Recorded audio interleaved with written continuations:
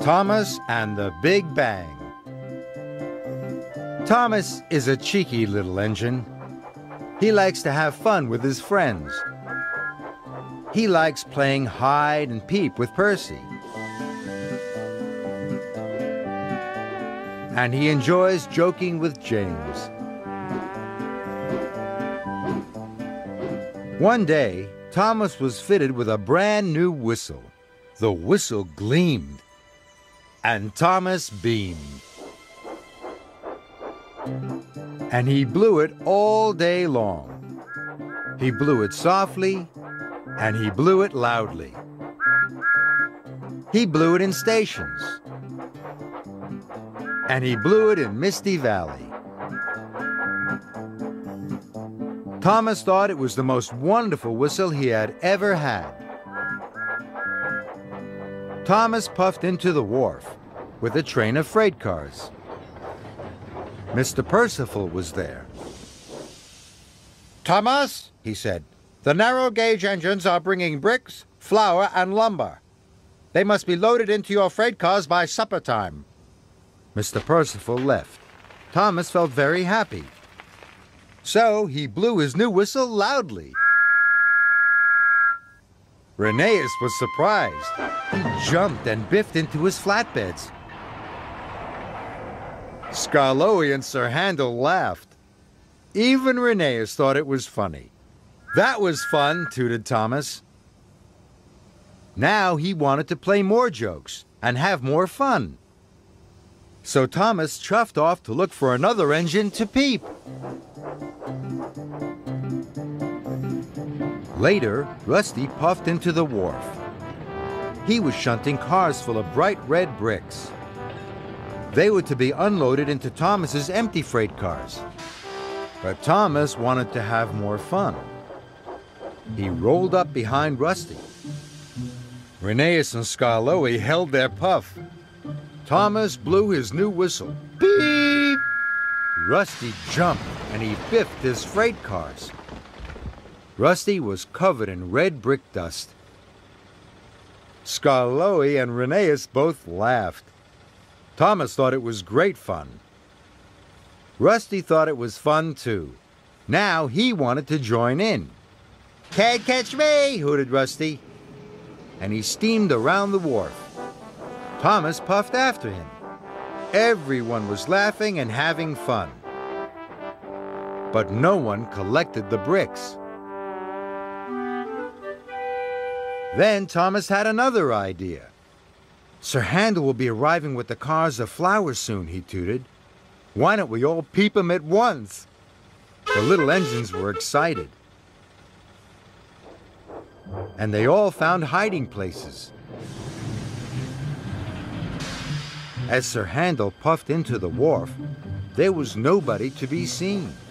Now! cried Thomas. He blew his new whistle as loudly as he could. The little engines blew their whistles too. Sir Handel biffed his freight cars in surprise. Flour flew up into the air like a great white cloud. You look like a ghost, laughed Rusty. Whoa, laughed Sir Handel. Look at me, I'm a ghost. And he steamed away. Soon all the engines were chasing each other. And no one was doing any work. Thomas had another idea. Peter Sam is on his way. Let's peep him as well. And the little engines agreed this was a very good idea. Peter Sam trundled into the wharf. Thomas got ready with his whistle. The little engines got ready too. Beep! Peter Sam shot forward. He bashed his flatbed so hard they burst through the buffers, smashed through the oil drums stacked on the wharf, and splashed into the canal.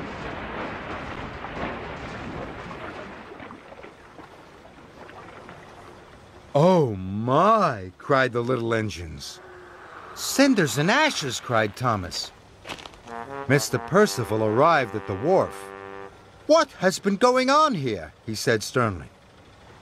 There are bricks all over the rails, flour all over the warehouse, and now lumber is in the canal. I'm sorry, sir, wheezed Thomas sadly. It's all my fault.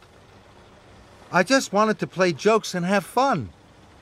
Mr. Percival was very cross. You must clear up this mess at once, he cried, and your freight cars must be loaded by supper time.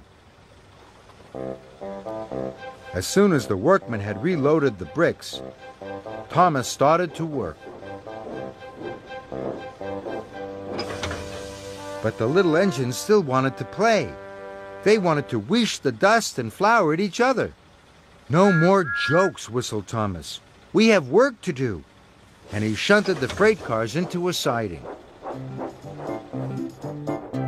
New cars of flour were now ready, and Thomas took them to the sidings as well.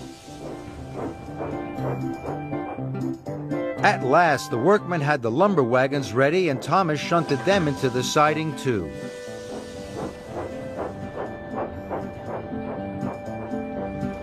Finally, Thomas had one long train of bricks, flour, and lumber. And it wasn't even supper time. Mr. Percival came back. He saw Thomas, but Thomas was hiding his freight cars. Where are your freight cars? said Mr. Percival crossly. Thomas smiled. He was playing a trick. He puffed forward slowly. Here they are, sir, he whistled happily. Loaded up and ready to go. The little engines laughed. And Mr. Percival laughed too. Thomas, he said, that was a good joke. You are a really funny engine. And Thomas puffed happily away.